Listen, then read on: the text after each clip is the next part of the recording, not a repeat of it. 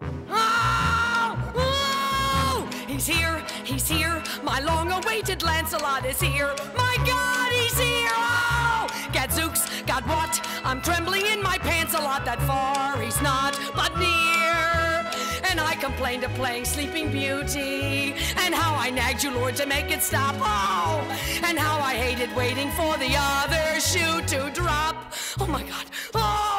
So now it dropped. And oh, with dishes in the sink, is it of joy, I think, or fear? I dream someday my prince would come. The reason's not quite clear. Oh, how weird, how odd. I can't think of a thing to say, but oh my God, he's here. Penelope am I, and he's Ulysses, the man for whom I've waited and repined. Oh, Penelope am I.